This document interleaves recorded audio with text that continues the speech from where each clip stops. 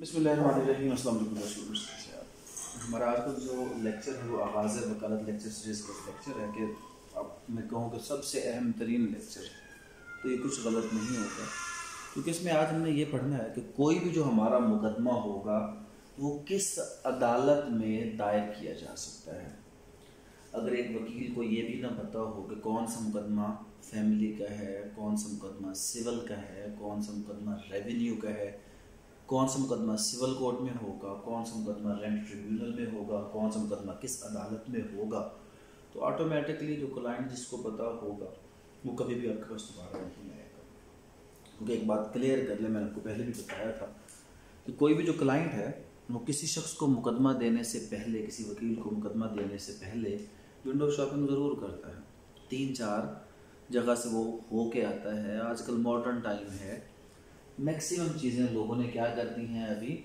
YouTube पर upload कर दी है तो ऐसे तमाम जगह से वो क्या करते हैं, पहले उस चीज़ को देखते हैं और उसके बाद फिर वो किसी के पास केस लेकर आते हैं।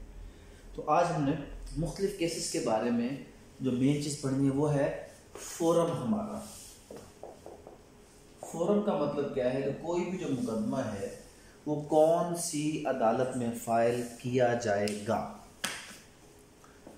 अब स्टार्ट करते हैं जनाब। जैसे कुछ चीज़ में चीज़ें देखें ध्यान में रखनी जो मेन चीज़। इसमें कुछ होते हैं आपके सिविल रॉन्ग कौन से रॉन्ग होते हैं? सिविल रॉन्ग कुछ आपके होते हैं क्रिमिनल रॉन्ग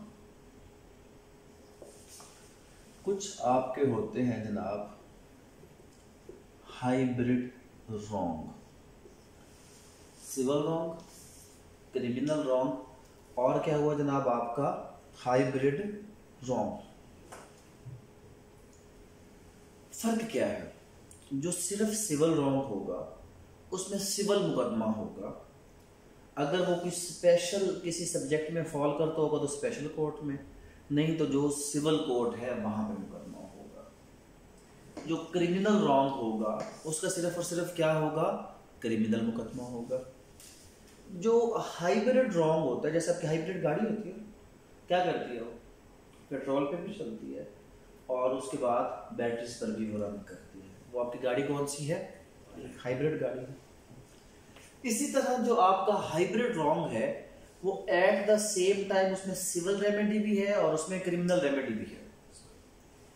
किसी को सजा दिलवानी है हमने तो फिर हम जाएँगे क्रिमिनल की तरफ़ और अगर किसी से हमने डैमेजेस लेने हैं कोई रिकवरी करनी है कोई और ऐसा मामला है तो हम जाएँगे किसकी तरफ़? हम जाएँगे क्रिमिनल की तरफ़। अगर रिकवरी है तो सिविल सजा है तो क्रिमिनल और जहाँ पर हम सेम टाइम पे सिविल और क्रिमिनल दोनों मुकदमे कर सकें वो हमारा कौन सा रॉन्ग होता है? हाइब्रिड अब इसमें एक सवाल है कि दो मुकदमे तो नहीं होते? बिल्कुल ठीक है जनाब। दो सिविल मुकदमे एक सेम टॉपिक पे नहीं हो सकते सेम फैक्ट पे नहीं होते कॉज अफेक्शन पे। और दो क्रिमिनल मुकदमे एक ही जैसे वकूए पे नहीं होंगे। हाँ एक सिविल मुकदमा और एक क्रिमिनल मुकदमा हो सकता है, मिसाल के तौर पर एक शख्स है, उसने आपकी गाड़ी का शीशा तोड़ दिया।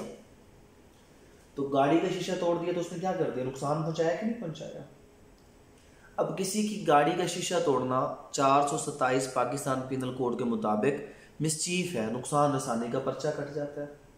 क्या उसमें आपका नुकसान हुआ या नहीं हुआ? हुआ। तो नुकसान को रिकवर करने के लिए आप एक रिकवरी सूट भी फ़ाइल कर सकते हैं। डेफामेशन अगर तो डेफामेशन में सजा दिलवानी है तो पीपीसी और अगर डेफामेशन में सजा नहीं दिलवानी तो फिर कौन सा मुकदमा होगा? Civil recovery order thirty seven में भी हो सकता है और एक आम रिकवरी सूट में। चेक 489 एफ़ का पर्चा कटवा लें। ऑर्डर 37 का रिकवरी सूट फ़ाइल करवा लें। कोई शख्स आपकी ज़मीन पे कब्जा कर ले सिविल सूट फ़ाइल कर ले रिकवरी ऑफ़ पोजेशन का। इलीगल डिस्पोजेशन एक्ट के तहत सेशन कोर्ट में डायरेक्ट कंप्लेन फ़ाइल कर दे 145 की दरख्वास्त दे दें मजिस्ट्रेट के पास। कितनी रेमेडीज हो गई? दो, तीन। हाई कोर्ट अगर कोई बच्चे का मामला, गुमशुदगी का मामला फोर्स डिसपेरेंस है हाई कोर्ट में 199 कॉन्स्टिट्यूशन उसके बाद 491 उसके बाद अगर आप उस तहत मजिस्ट्रेट के पास सेक्शन 100 बच्चे का मामला है तो सेम टाइम पे guardian and ward act section 25 की कस्टडी लग सकती है। तो एक ही मामला फोरम कितने होंगे? बहुत ज़्यादा। आपको पता होने चाहिए कौन सा फोरम कौन सा मुकदमा कहाँ पे होगा। Civil wrong relevant civil court में होगा। क्रिमिनल लेकिन सिविल की फोरम भी एक से क्या है? ज़्यादा। क्रिमिनल के फोरम भी एक से क्या है? ज़्यादा। क्यों एक से ज़्यादा? सिविल का एक तो मेन फोरम है जिसको हम क्या कहते हैं? सिविल कोर्ट और कुछ ऐसे हैं जो हमारे कौन से कोर्ट्स हैं जनाब? स्पेशल कोर्ट्स या स्पेशल ट्राइब्यूनल्स हैं जो मुख्तलिफ़ सिविल के मामला को सुनने के लिए बैठे हैं। लेकिन मुकदमे के दोनों कौन से सुनेंगे सिविल क्रिमिनल अगर क्रिमिनल रॉन्ग है एक तो हमारे पास सबसे पहले कौन आ जाता है जनाब? मजिस्ट्रेट उसके साथ कौन आ जाता है कि कोर्ट ऑफ़ सेशन आपने कहना सेशन कोर्ट आज के बाद नहीं कहना कोर्ट ऑफ़ सेशन और फिर यहाँ पर भी हमारे पास कौन से जजेस आ जाते हैं? स्पेशल कोर्ट्स आ जाते हैं ट्रिब्यूनल्स आ जाते हैं. उसके बाद अगर हम बात करें हाइब्रिड रॉन्ग तो ये कहाँ पे होगा? ये सिविल में भी होगा सेम टाइम पे और कहाँ पे होगा ये? सेशन नहीं सिविल क्रिमिनल तो सिविल जज मजिस्ट्रेट डिपेंड करता है कि मुकदमा कहाँ कहाँ पे वो भी आपको समझाता हूँ। सबसे पहले हम इसको आसान आसान की बात करते हैं। देखिए सबसे पहले सेक्शन नाइन है सीबीसी का। कौन सा सेक्शन है? किसका? सीबीसी का। जो ये कहता है कि जनाब all source of civil nature all source of civil जो नेचर होगा वो कौन डिटरमिन करेगा?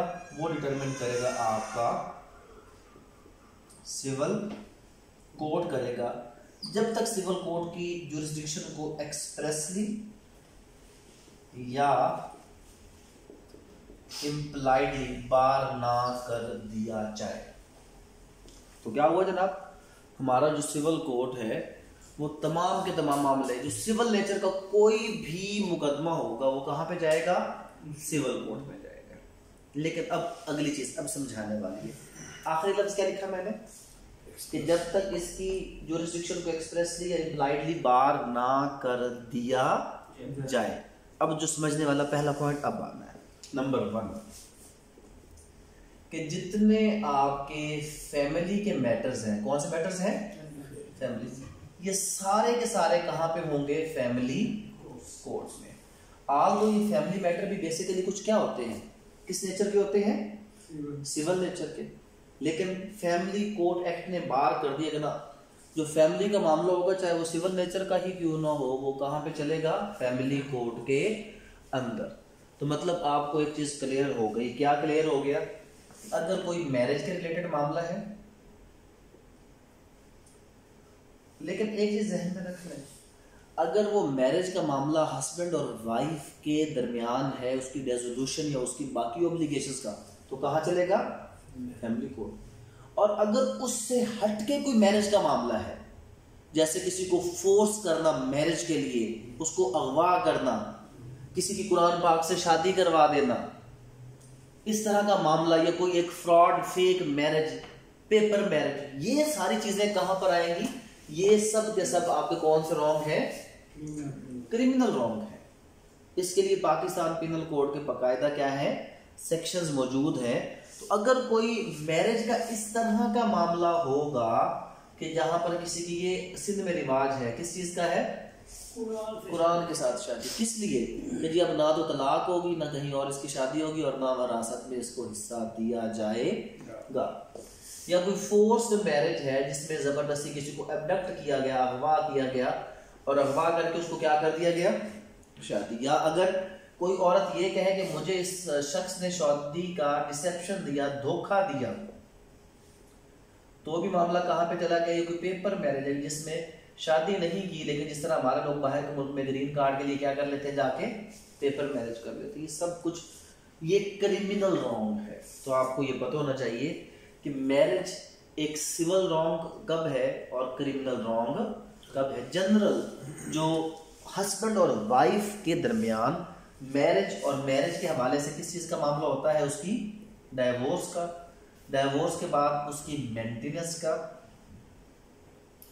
और मेंटेनेंस के बाद कोई डावर का या डावरी आर्टिकल्स यानी कि ज़मीन समान जहेज या आपके जहेज का हक महर का। या कोई मुकदमा होता है बच्चों की कस्टडी का ये सारे जो मुकदमे हैं ये कहाँ पर होंगे? इनका फोरम क्या है? फैमिली मैटर्स है। फैमिली कोर्ट में जाएँगे। लेकिन अगर कोई हस्बैंड किसी वाइफ को मारता है पीटता है यहाँ पे अलग कानून है। वो मजिस्ट्रेट के पास जाके आप क्या करेंगे उसका मुकदमा दर्ज करेंगे। अगर कोई मार पीट है तो। और अगर डोमेस्टिक वायलेंस है देखिए, यहाँ पे तकरीबन जो मैटर्स आपके फैमिली कोर्ट देखता है, वो सिविल नेचर के देखता है। लेकिन डोमेस्टिक वायलेंस आ गई, उसके लिए अलग फोरम हो गया। फिर अगर वर्क प्लेस वायलेंस हो गई, अगर वर्क प्लेस पे किसी औरत को कोई जदोगोब करे, उसको ब्लैक मेल करे तो फिर एक वफाकी ओम्बट्समैन अलग से बिठा दिया गया, जिसका काम सिर्फ़ यही है कि जो वर्किंग वीमेन है, उनके मामला आपको देखें। उनके ऑफ़िस में और चाहे वो सिविल नेचर है, चाहे वो क्रिमिनल नेचर है, वो किधर चला जाएगा? उस ओम्बट्समैन के पास चला जाएगा। पहले आसान आसान चीज़ें ताकि वो थोड़ी सी चीज़ें खिचड़ी हो जाएगी ज़्यादा गहराई में जाएगी पहले मोटी मोटी बातें। ये तो पॉइंट क्लियर हो गया कि फैमिली मैटर जो हस्बैंड और वाइफ के दरमियान होंगे, वो सारे के सारे कहाँ पे आएँगे? आपकी फैमिली कोर्ट में। उसके बाद दूसरी आसान चीज़ पढ़ेंगे ना। दूसरी आसान चीज़ ये है कि जितने सरकारी मुलाजमिन अब शर्त ये है कि सरकारी मुलाजमिन की बात नहीं हो रही क्लियर करें पहले। जितने मुकदमे किनके हैं जनाब आपके सिविल?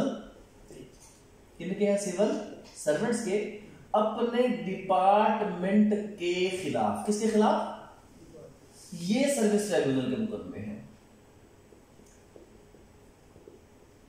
क्या हर सरकारी मुलाजिम का मुकदमा सर्विस ट्रिब्यूनल में चलेगा? नहीं। अगर सरकारी मुलाजिम का कोई साथी मुकदमा है तो या वो सिविल कोर्ट में चलेगा या वो कहाँ पे चलेगा? क्रिमिनल में चलेगा।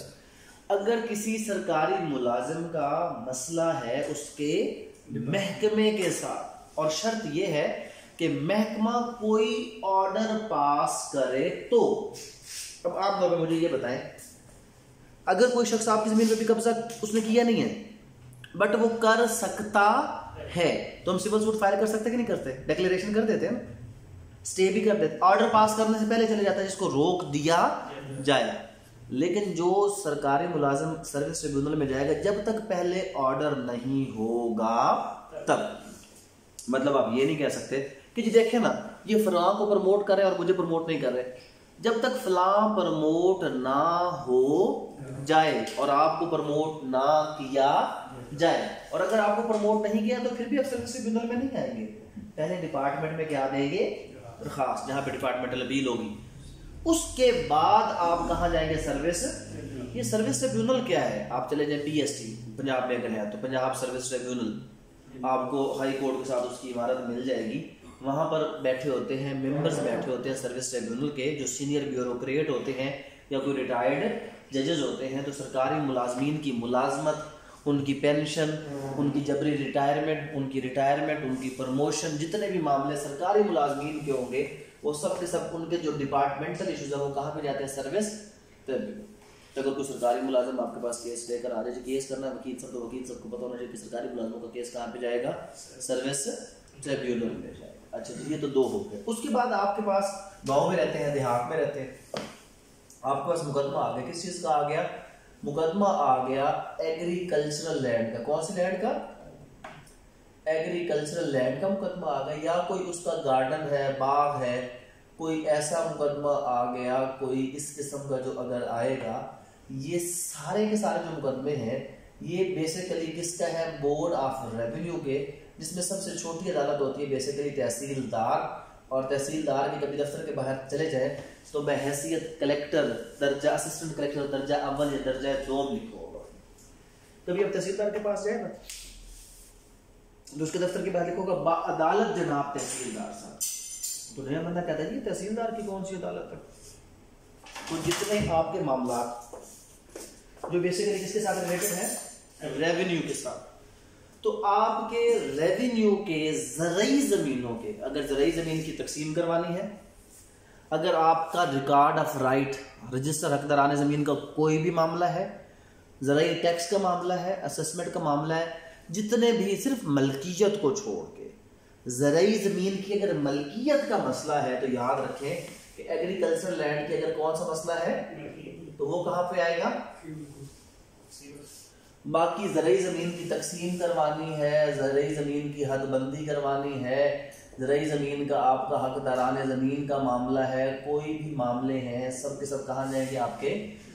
ये बोर्ड ऑफ़ रेवेन्यू आला अदालत है उसके नीचे कमिश्नर की अदालत होती है नीचे कलेक्टर की अदालत होती है सबसे नीचे असिस्टेंट कलेक्टर की अदालत होती है जो तहसीलदार या असिस्टेंट कमिश्नर के पास पावर होती है।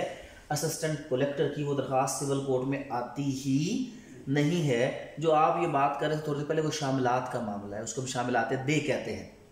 शामिलात दे कौन सी होती है? वो ज़मीन होती है जिसके ना तो इंतकाल होता है ना ही और मामला होता है उसका अलग असूल होता है वो बोर्ड ऑफ़ रेवेन्यू डील करेगा जी? नहीं, बेनामी और चीज़ होती है, शामिलात दे और चीज़ होती है। बेनामी तो सिविल कोर्ट में आएगा, शामिलात दे वो होती है। जब अंग्रेज़ साहब बहादुर ने देहात काटे थे ना तो हर देहात के साथ उसने कुछ ज़मीन छोड़ दी थी, जो किसी के नाम पर नहीं थी, वो गाँव की वेलफेयर उस कम्युनिटी कह रही थी कि कभी यहाँ पे अगर कोई बनाना हुआ, कोई बस स्टॉप कोई पार्क या कोई ऐसी चीज़ होगी तो वो यहाँ पे बनेगी। फिर लोगों ने ऐसे ऐसे उसके ऊपर कब्जा कर लिया। उसकी मलकियत नहीं होती, उसका कब्जा होता है और उसकी ना तकसीम होती है, ना उसका कुछ और होता है। अगर उसके मुतल कोई भी मामला होगा तो कहाँ पे होगा? बोर्ड ऑफ़ रेवेन्यू की तरफ़। अब लंबरदारी के मामले बड़े ज़्यादा है हमारे पास, पंजाब में ख़ास तौर पर अभी भी लंबरदार को एक जो है वो मुरबा ज़मीन का दिया जाता है और उसके बाद लंबरदारी की अहमियत इसी से अंदाज़ा निकाला कि मुशरफ साहब अपने इलाके के लंबरदार थे। लंबरदारी की इतनी छोटी पोस्ट नहीं है। लंबरदार भी पूरे इलाके के अंदर, किसी ज़माने में तो बहुत बला होती थी, आज से कुछ अर्सा पहले तक। लेकिन अब वो बला तो नहीं रहेगी। बट स्टिल उसकी एक अहमियत है लंबरदार साहब की लंबरदारा मुंडा वैसे पूरे गाँव में क्या होता है, जनाब? मशहूर होता है। कन टुट्टा जो सबसे ज़्यादा लंबरदारों का मुंडा होता है। तो ये जो लंबरदार वाला कहानी है, ये जितने लंबरदारी के पॉइंट ये बहुत ज़्यादा मुकदमे चलते हैं। ये सारे के सारे कहाँ पर आते हैं? ये बोर्ड ऑफ़ तो ज़रिए ज़मीनें लंबरदारी और इस किस्म के जितने भी मुकदमे अगर आपके पास आएँगे तो आपको पता होना चाहिए एक बंदा आया कि कोई नंबरदारी का मुकदमा करना है। तो नंबरदारी का मुकदमा आपका कहाँ पर जाएगा?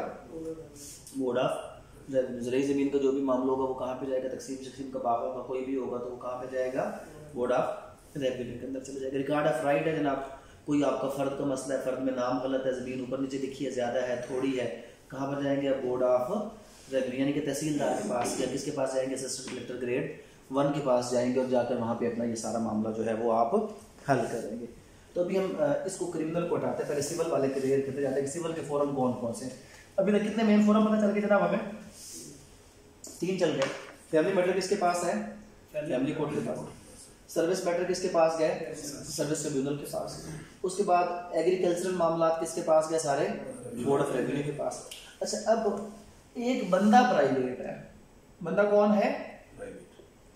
और उसने खिलाफ जिसके जाना है वो क्या है? कोई महकमा? देखें, आप रिटायर हो गए। जब आप रिटायर हो गए तो आप सरकारी हो गए गैर सरकारी हो गए? गैर सरकारी अब आपका डिपार्टमेंट आपको तंग कर रहा या वैसे आप प्राइवेट बंदे हैं और किसी सरकारी महकमे के पास जाना चाहते हैं तो उसके लिए हुकूमत ने क्या कर दिया? ओम्बड्समैन कौन बिठा दिए। मोतसिब। वफाकी मोतसिब अलग होता है, सूबाई मोतसिब अलग होता है। और हर हर मामले का मोतसिब क्या हो गया अभी?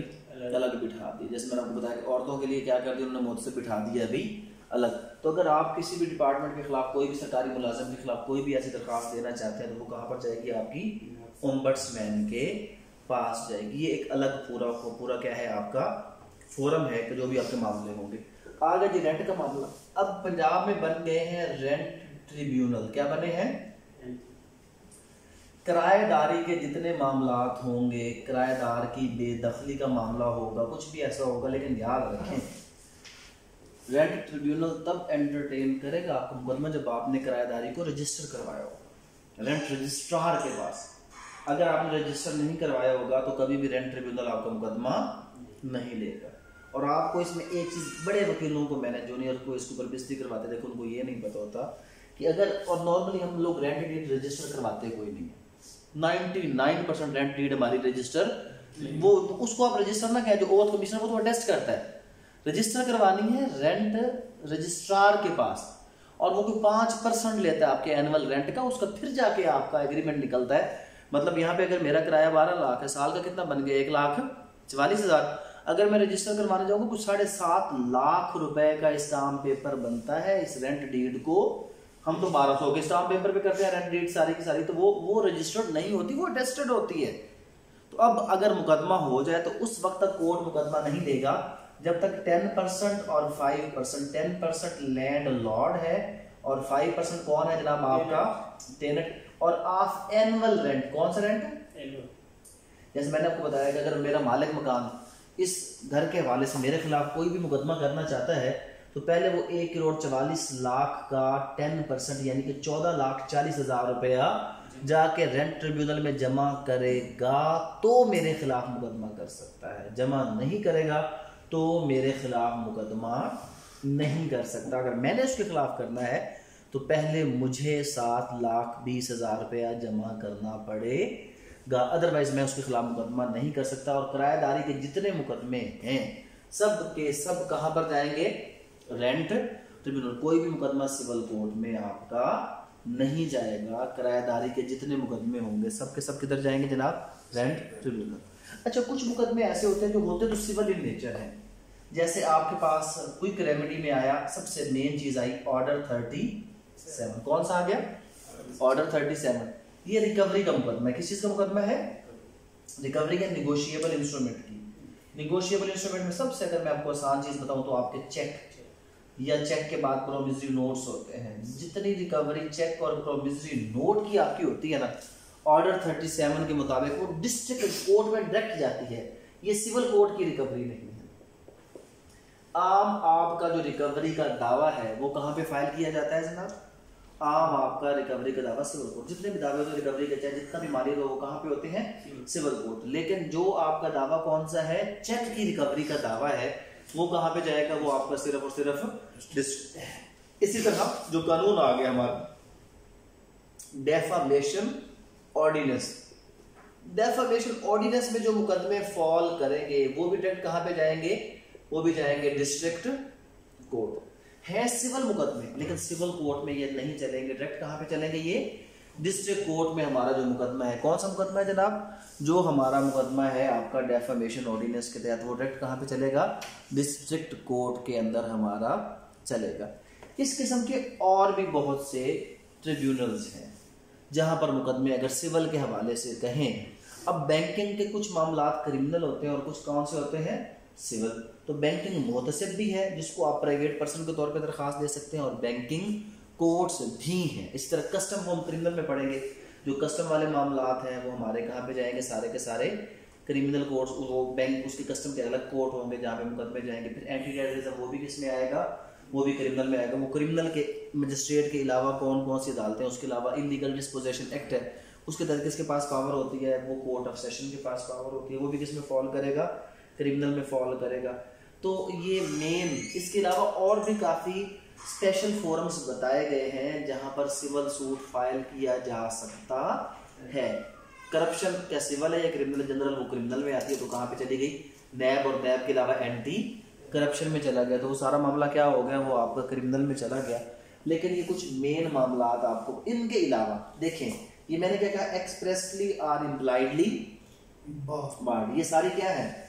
ये बार है। कि ये मुकदमे सिविल कोर्ट में नहीं चलेंगे। इनके अलावा जो सिविल नेचर का जो भी मुकदमा होगा, वो कहाँ पे चलेगा आपका? सिविल कोर्ट के अंदर।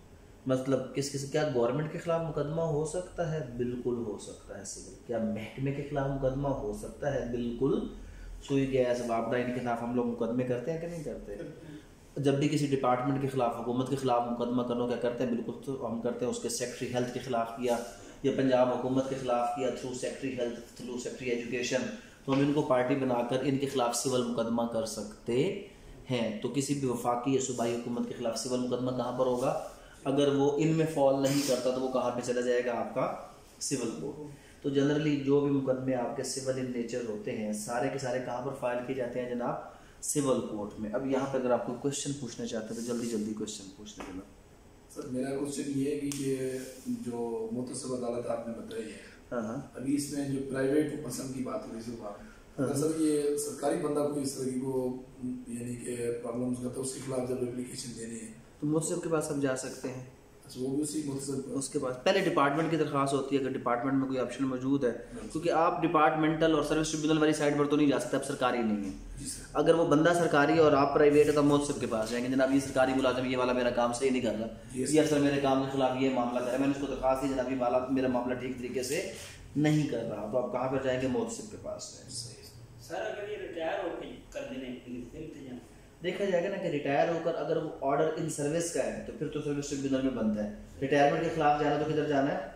सर्विस ट्रिब्यूनल में जाना है। तो जो कोई बेनिफिट किसी और को दिया, इसको नहीं दिया तो ये डिपार्टमेंट के ज़रिए से अगर वो प्रोसेस वहाँ पे बनता तो फिर तो जाएँगे उस चैनल पे। अगर वो उस चैनल का नहीं बनता तो फिर किधर आ जाएँगे? जनाब की मौत के पास आ जी जनाब, कोई और सवाल आपका? ये आज हमने पढ़ा सिविल के हवाले से फॉर्म कल हम किसके हवाले से पढ़ेंगे?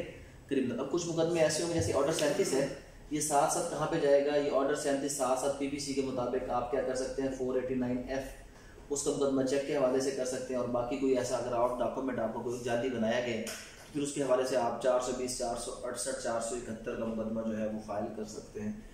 इसी तरह हमारे पास जो डेफामेशन है, इसके हवाले से हमारे पास पाकिस्तान पीनल कोड है। ये भी क्रिमिनल मैटर है, इसके लिए आप क्रिमिनल मैटर उसकी तरफ़ भी आप क्या कर सकते हैं? जा सकते हैं। तो फैमिली में भी कुछ ऐसे पॉइंट्स होंगे कि जहाँ पे हम क्या करते हैं कि फैमिली के जो इनिशियल मामला होते हैं। कभी आप चले जाए ना जो यूनियन काउंसिल होता है वहाँ पर लिखा होता है कि जनाब चेयरमैन बा अदालत जनाब चेयरमैन सालसी कौंसल तो वो भी जो बा अदालत जनाब होता है दर हकीकत वो Muslim family law ordinance M F L O उन्नीस सौ इकसठ के मुताबिक जितने आपके चेयरमैन हैं यूनियन काउंसिल्स के उन चेयरमैन को क्या किया गया? सालसी काउंसिल उसका जज वो अदालत नहीं बट उसको सालसी काउंसिल है लेकिन वो अपने आप को अदालत जनाब सालसी काउंसिल लिख देते हैं तो वो इवन फैसला दे सकते हैं। कोई मेंटेनेंस के हवाले से वो फैसला दे सकते हैं।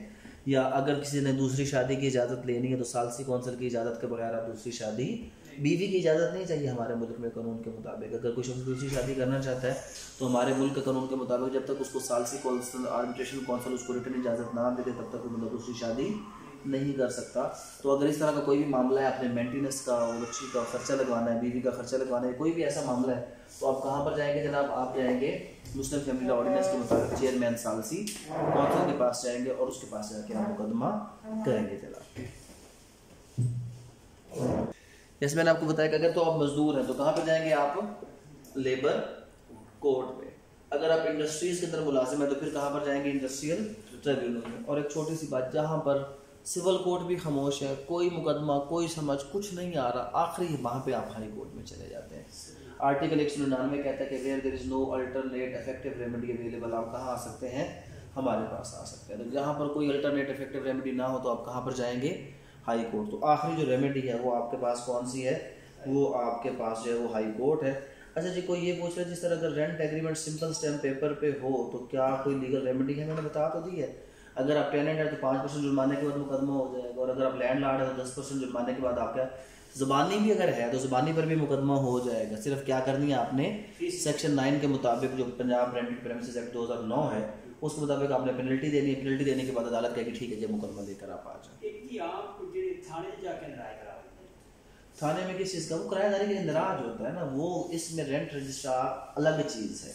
वो रेंट रजिस्ट्रार दर हकीकत क्या है कि जब आप किराएदारी का स्टाम्प पेपर निकालते हैं ना उसको प्रॉपर आप लीज करें तो वो आपसे पूछता है कि जनाब एक साल का किराया कितना है? आप जिनसे रेंट के एग्रीमेंट निकलवाते हैं वो उसमें किराया आपका कितना लिखते हैं? वो नॉर्मली किराया लिखते हैं कोई एक लाख।